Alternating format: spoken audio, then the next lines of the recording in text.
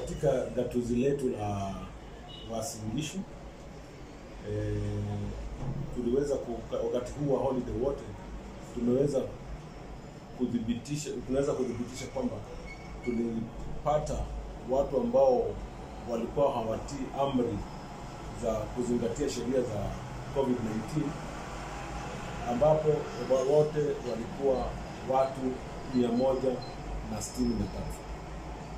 Watu hawa wengi walipatikana katika mahali ya kupata vileo wakijiburudisha na bila kuweka zile umbali wa mita moja na nusu ambapo tunashauriwa na Wizara ya Afya kuzingatia.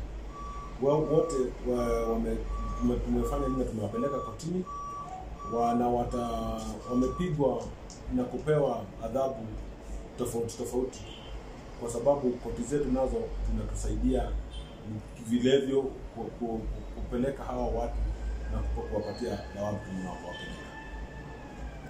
Na ni, mwito tu kwamba ugonjwa huu kwetu hapa kwetu eh, katika gatuzi letu la wasilisho tuko na shida nyingi kwa sababu wale ambao zile visa ambazo zimethibitishwa ni vingi zaidi na zinaendelea.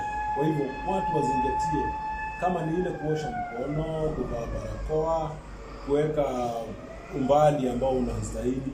Ukiingia kwa matatu, wewe nawa mikono. Ukishuka kwa matatu, ingia nawa mkono. Ukiingia kwa nyumba, na hata zaidi sisi kama watu, wengi watu wengi ambao tunashinda katika sehemu za mijini, wakati tunaenda nyumbani manyumbani kwetu baada ya kazi, tukifika pale mlangoni, kabla ujaingizi ndio usiingize hizi usiingize hizi kwa nyumba, nawa mikono na alafu uendelee na shughuli zako, na ni vizuri kwa sababu watu wame, wa, kidogo wametii, lakini wengi ndio wengi ambao hawataki.